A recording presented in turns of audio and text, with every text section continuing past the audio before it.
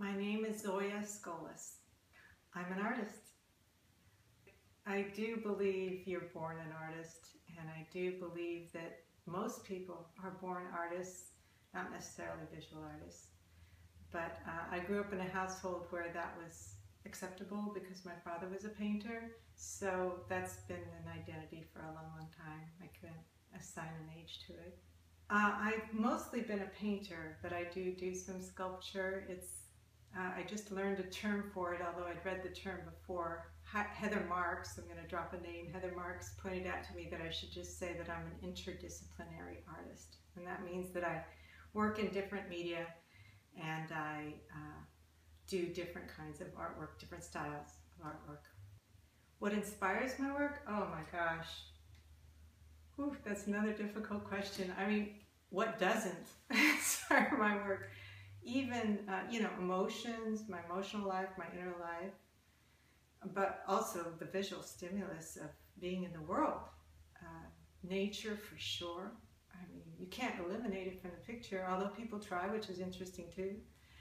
Uh, yeah, just the ever-changing world and my inner world. That's enough. I mean, that's enough for more than one lifetime. Yeah, I have more ideas than I could ever, ever do. I don't get stuck and I don't have block. I have the other problem where I'm trying to catch up with myself or finish or actually do a whole series instead of moving on to the next thing and maybe getting back to that other thing. And, yeah.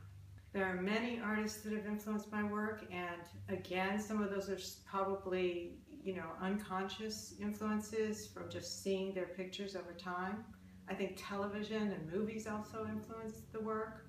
So more than I could name, but obviously the, you know, big standout uh, abstract painters of the 20th and 21st century. And I want to put a shout out to Joan Savo, who's deceased, but was an early influence on my work. Absolutely gorgeous uh, abstract painter who did, um, well, Bay Area figurative school kind of work. And was a close friend of my father's and of my family. My father's work, no doubt, you know, my father's painting.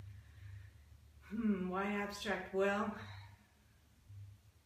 you know, I it's an interesting question because somebody actually invented this, right? Uh, a lot of people think that uh, Kandinsky invented abstraction, and uh, it's interesting to think about in those terms because obviously I came after that, so abstraction's been around my whole life, so I can't imagine a world without abstract art. So uh, for me, I think it speaks more to the unseen than obviously than um, representational art would, although representational art can through symbolism, for instance, and also just through the mysterious process of painting something, and even if it looks exactly like what you're looking at, there's something else there. There's the filter, the interpreter, the artist. Uh, lately, I'm doing these paintings on wood panel.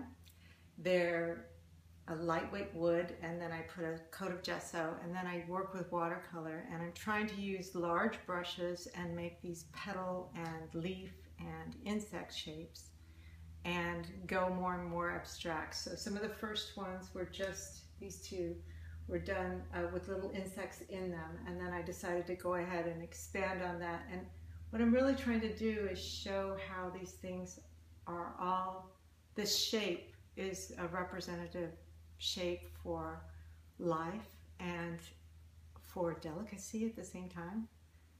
And uh, so playing with that, getting more and more abstract, and noticing that that shape is present in many, many places in nature. So for instance, this is more about stones, at least this part of this painting, and then up here are the petals.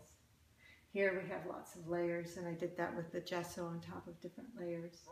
And I just have a, a really nice time using the brush. Um, I use two different brushes, a mop brush, actually they're over there, I can show you later, a mop brush and flat to get these gorgeous shapes. One of the things that happens when I paint, because I don't plan everything ahead of time, is, you know, things appear and I see that the painting hung this way, which is not the way it's framed to be hung. It's framed to be hung this way. But I, I noticed that these two shapes look a little bit like birds, and I love that.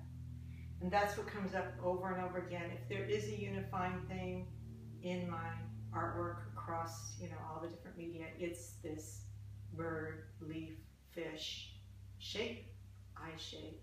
That shape It's just over and over again, and it's beautiful and uh, mysterious. And yeah, this looks like this could be a bird, and this could be a bird. Art isn't meant to be understood. It's uh, meant to be experienced and like life, and it's a mystery.